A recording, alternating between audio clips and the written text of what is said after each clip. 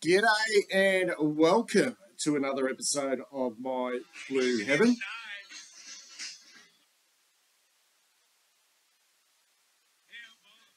Okay, there's a, a bit of a blast from the past. Someone mentioned in the comments from my last video that they missed the introduction song, and I haven't played it for such a long time. Um, but there is copyright issues playing that, and that's the way it is on YouTube. So apologies. Now, first of all, just a, a big thanks, and I mean a, a huge thanks to everyone um, in regards to well wishes um, with my health. Look, it was just it was just a really bad cold or flu. Um, and I'm pleased to announce that I've come out the other side a lot stronger. I'm still not quite there, so I'm going to roll with this concept of just my voice and not necessarily my aging and really, really unattractive head. And what you will see in this video will be a number of sort of random uh, slides which will appear um, about this week's weekend's game. This is a preview of our huge round 18 clash against the uh, against Port Adelaide at Marvel Stadium. We'll get there shortly. And you'll see lots and lots of slides throughout this um, throughout this bit of a uh, bit of a waffle. I will go on and on and on. That's the way this will be. I'm not quite sure where this will go. This is a a huge game. It really is a big game on Saturday. And there's so much really to talk about. But I think about these two clubs um, and the history between these two teams goes right back to 1997 when Port Adelaide first came into the competition. And there's no doubt that they've had the wood over us. Not always, but their record speaks for itself. You know, they won a premiership in 2014. They've been in a lot more final series, series since us, and they've been a lot more successful than us since they did come into the competition. And we have had some great games against them, whether that be in South Australia, or whether that's here at the MCG or at Docklands. Uh, but our recent record against them isn't great. But I suppose part of the theme, guys, of this preview is just waiting and waiting and still waiting on what will be our next big win. And I mean a win of substance. And I've been going on about this for a while now. But a win, but one that we will look back on and think, yeah, that is that is a win. I'm not quite sure whether that this that's going to be on Saturday against Port Adelaide, but I do think about the last time I was genuinely, genuinely up and about as a Carlton fan, and oh, I just remember this game right back to 2013, last game of the home and away season under Mick Malthouse. Yes, Mick Malthouse. We played Port Adelaide. They were in their prison bars traditional top at Football Park out at uh, out there, which is no longer there. It was the last ever game at that ground, and wow, those two weeks, that that final game of the year, then the elimination final the following weekend against Tigers, were two of the best games I can ever remember being a Carlton supporter, and I've seen I've seen premierships. I've seen premierships as a fan. I can't ever be, I can't ever remember being more passionate and loud and obnoxious than those two games. And that game at Football Park, where the power led by five goals at half time and then another five goals at three quarter time, and they looked like they were just going to run away with that game, and we just somehow clawed our way back into it. That's oh, I don't know. There's probably been games of of substance, wins of substance since then. But that one there is just etched, with the elimination final in my memory. And I was having a look at that game. We won by a point. We won by a point. Tom Bell put us in front in that game in the last quarter, and we had we had some great players. Like Marc Murphy was huge in that game with three goals, and Bryce Gibbs was great in the last quarter. Jarrad Waite kicked a couple. Eddie Betts kicked some goals out of his arsehole. But the only players that survived from that 2013 game are Ed Curnow. He played in that. He had 19 disposals, Ed, um, in that game and also kicked a goal. And for Port Adelaide, well, Travis Boak played. He kicked a goal and had 22 touches. And Chad Wingard, who is still on an AFL list, he plays with the Hawks. He played in that game and Tom Jonas, a young Tom Jonas, collected seven seven disposals, and I reckon he might be back in Port Adelaide's team this weekend. The skipper against us, considering that Trent McKenzie will not play. That's a big out for Port Adelaide. I do the name that the name here that is glaring to me, looking out at me on the stat sheet from that game in 2013 is Kane Cornes. He had more disposals than anyone else on the ground. He had 35 touches in that game um, and four tackles. And it got me thinking, before I get on to this preview about Kane Cornes and his, I suppose his love-hate relationship with our football club. And I love Kane Cornes. I think he is fantastic. But it wasn't always the case with me and Kane. Um, when I just before I first started this channel at the back end of 2018, Had a huge run in with Kane Cornes. Um, and I'm quite happy to share that uh, with you now. So, what actually happened throughout 2018, we were going like a busted arsehole under Brendon Bolton. Um, and at that stage, I was working with K Rock Football, which is a radio um, radio station in Geelong.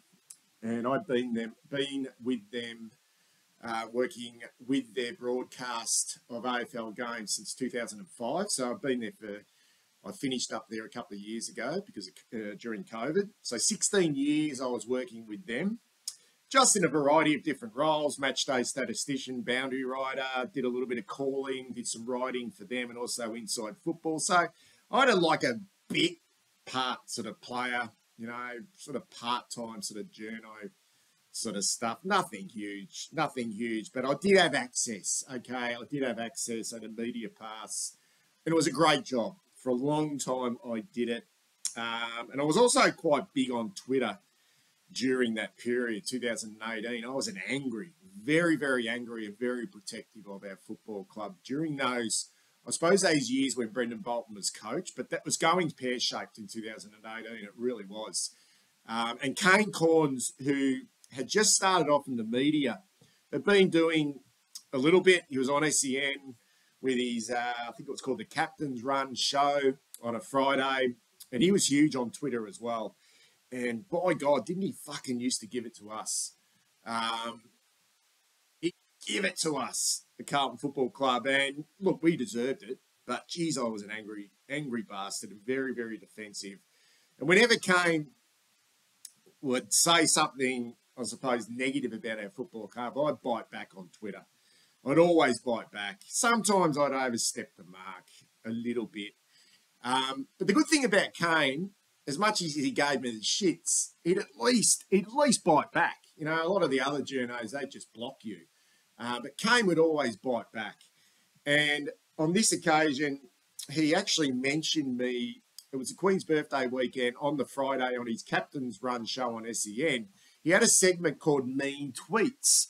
And I tweeted during the week about, I can't remember, something about Kane. And he mentioned me on Mean Tweets on his show on SEN. And he had a crack at me, really condescending and sarcastic crack. And said, well, this guy, Heath, he's a, you know, he works at K Rock football. He's a statistician, you know, like, good luck, Heath, for the future. Keep battling away, mate. You might get somewhere. Something really along those lines, real smart ass type stuff. Which, look, he had it. Look, look, yeah. So I had the shits with that. The following day, guys, I'm working for K Rock Football at Kardinia Park. Queen's birthday weekend. And it was Geelong versus North Melbourne on a Saturday and I'm working for K Rock in the box, and next to me in the box next door was Kane Cornes working for AFL Nation or SEN. And he was sitting virtually no more than three or four meters away from me, but he had no idea who I was. He wouldn't know me from a bar of soap other than the shit that I was hanging on him on Twitter and him biting back at me. Anyway, I'll share this tweet. After the game, I actually tweeted out that, and it went sort of half viral, this tweet. I just had a crack at Kane and said, listen, Kane Cornes is sitting next to me in the box, and he spent the whole day on his laptop, not watching the game, but scrolling through Twitter. Please ignore any of his thoughts on this game. Anyway, it just went this this tweet like it just went through through the roof. People were responding. People were having a crack at me. Kane had a crack at me. Okay, got a little bit nasty. It really did, and I did think then and there that I probably did overstep the mark. Uh, yeah. But anyway, I was actually staying down at Ocean Grove on that Saturday night because it was the long weekend. We have a caravan down there at Ocean Grove, and a friend of ours was having their 50th birthday party on the Sunday afternoon down at the caravan park. Anyway, on the Sunday, we're enjoying afternoon drinks in the sun. It was a beautiful Sunday afternoon. And I'm walking in and out of my caravan to the other caravan where they were having this small party to grab a drink every now and then. Anyway, my phone rang. So it would have been around about, oh, I don't know, half past two, three o'clock in the afternoon, and my phone rang, but it was a, a number that I didn't recognise. By this stage, I'd had a few, um, but I was feeling pretty good. And I thought, do I answer this? do I answer this? And I thought, yeah, fuck it, I'll answer it. And I answered it, and, it's, and hello, Heath Buck, and I said yes. Heath speaking. It's Kane Cornes here. Anyway, it wasn't a prank because I recognised the voice straight away. For the next 45 minutes in a phone conversation, Kane and I went toe to toe and this is a true story, goes toe to toe. He rang me, he got my phone number off someone, which I didn't mind, and he just gave it to me. Wanted to know what my problem was. Um, I told him in no uncertain terms that anyone who attacks our football club, I'm going to attack them. Blah blah blah. I was pissed, um, as in drunk, uh, and we were shouting. We were shouting, and my wife was actually in the caravan at the time. Now, we came to a decision to leave each other alone. Well, I was, I said I'd leave him alone um, because I did overstep the mark putting that tweet out. But when we uh, when we finally got off the phone to each other after about forty minutes, I went and rejoined the party, and my mate said to me, "Fuck, mate, are you been? Were you blowing with your missus in there?" I said, "No, mate. I've just been on the phone to Kane Cornes for 45 minutes. And they didn't believe me. So that is that is a true story, guys. Okay, Kane Cornes, he rang me. He had the decency to get on the blower and have a crack at me. And ever since then, I have the total respect for Kane Cornes. And I actually like I actually like his views on our football club. I really do. Okay, let's get let's get to this game. Let's get to it. Now, Saturday 4:45 or 4:40 start at Docklands. This will be the I think it's the fifth time we've played there this year. Uh, we've only had the one win. That was against North Melbourne, wasn't it, on Good Friday, and we've been beat by St Kilda Brisbane. Another team that beat us there as well. I can't think uh, who that was, but we've lost three times there, and I think I think Port have won. Up Western Bulldogs was the other team that we lost to. And the Port Adelaide Football Club, they've been there twice this year and won twice. So their record there is pretty good. In fact, their record this year is sensational. They've only lost the two games. They've been in been in unbelievable form, really. Um, and you look at you look at this sort of I don't know, like you look at what they've been able to do since the start of the year and the fact that they've only lost two games, one against Collingwood um, at the MCG, and the other was in the showdown, really close game um, against Adelaide. And they've just taken everything before them since then. They've been arguably with Collingwood the best two teams in the competition. We're 11th, they're second. Obviously, a huge win for us this weekend, or just a win will keep us in touch of playing finals football in 2023. Um, we've won our last three, but the opposition has been, let's just say it's been questionable. I know there's a few Carlton supporters up in arms at the moment um, in regards to that, that, you know, a lot of supporters are saying the opposition's been poor, blah, blah, blah, um, and wanting us to give credit to our team. Look, we've played good football. Don't get me wrong. We have played really good football. But all it's all it said to me is this: if this is for real, if this and this these have been big wins. All right, these are big big wins. Now, if this is for real, it will stack up against quality opposition, and we get that this week against Port Adelaide. Are they top echelon away from home? You would think they are. You would think they are. So this is this is for us such a such a good opportunity to get a to get a really good read on this current patch of form. And this isn't the same team personnel wise, which were losing games, okay, through that bad patch. And it isn't also the same team that we took in at the start of the year. There has been some changes. Now we get to see whether those changes, all right, the likes of Fogarty, the likes of Cunningham, who've come into this team, all right, and Jack Martin's come into this team, and we haven't necessarily had the two rucks in. We now see whether this will stack up against Port Adelaide on Saturday because it will need to. All right, this goes to another level. It really does. And Port Adelaide, look, their form, as I mean, when you've won, what they 13, 14 in a row, and have only lost two games this season, um, their form, their form does stack up.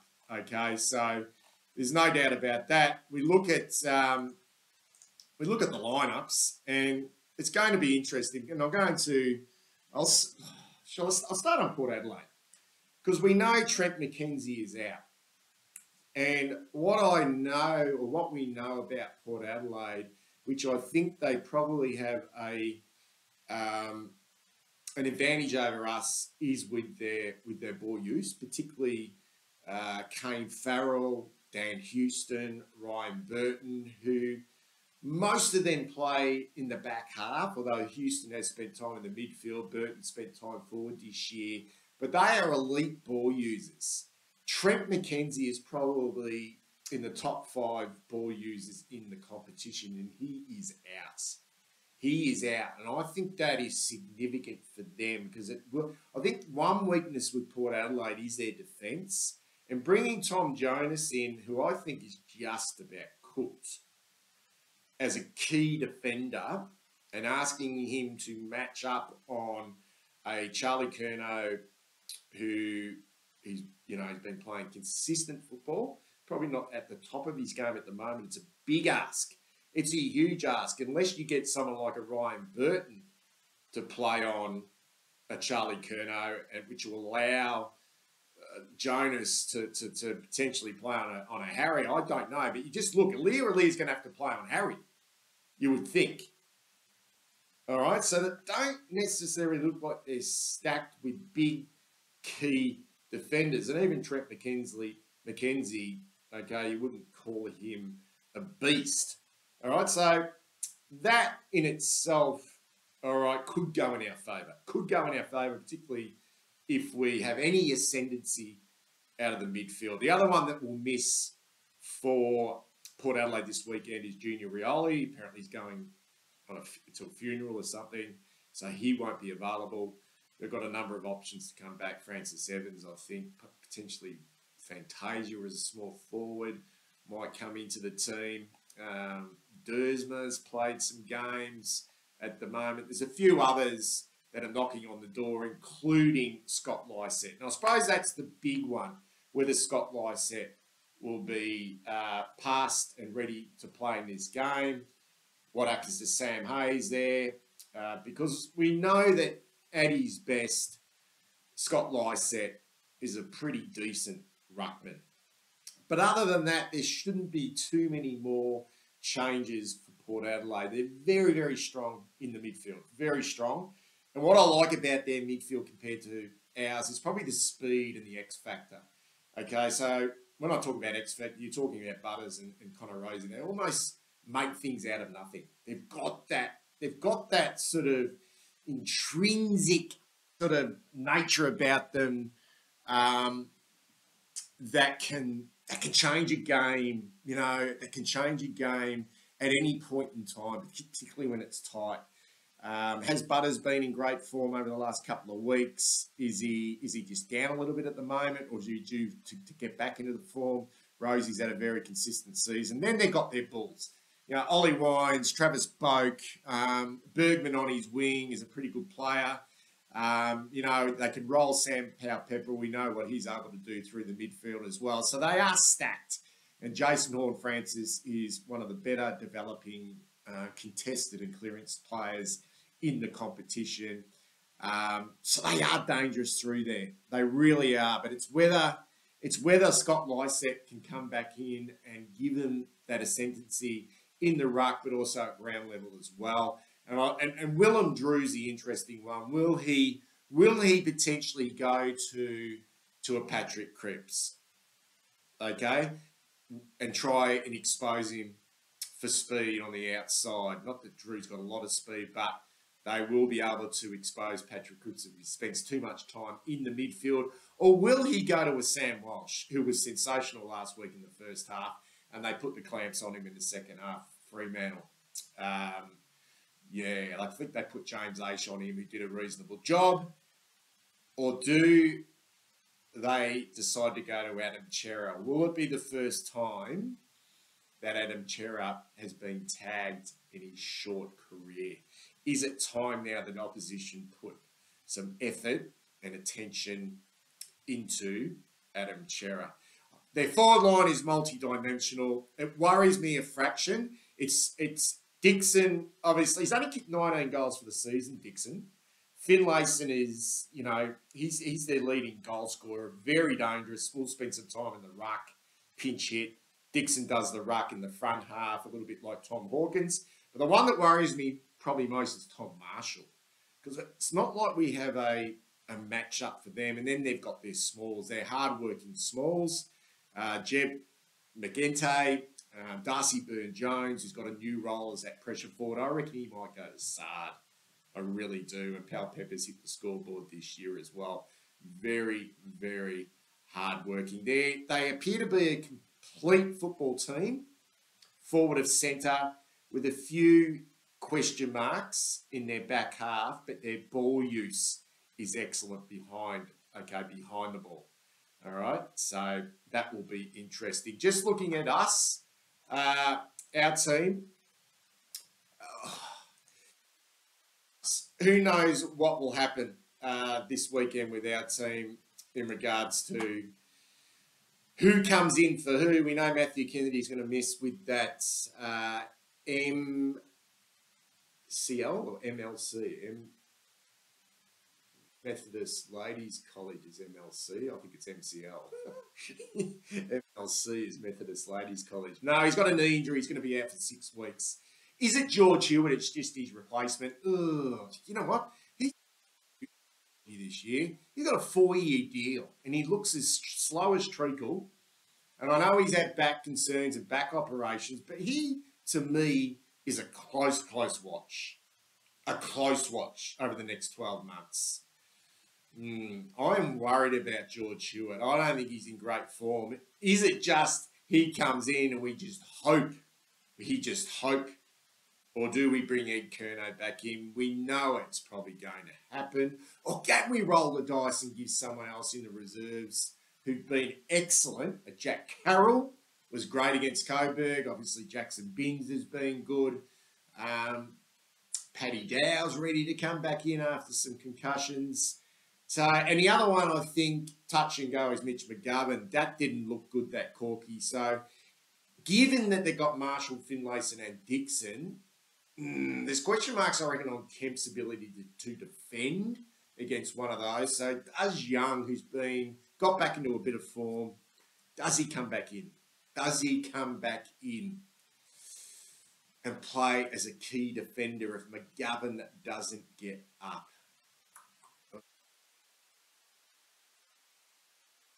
Possibly. Possibly. I don't know whether Mitch McGovern's got the body to carry a really bad corky. Don't know. And coming off a six day break, that's going to be huge. I reckon he'll be named. I reckon he'll be named, but I wouldn't pencil Mitch McGovern in. Or is it Marchbank who came back last week, 23 touches in the VFL?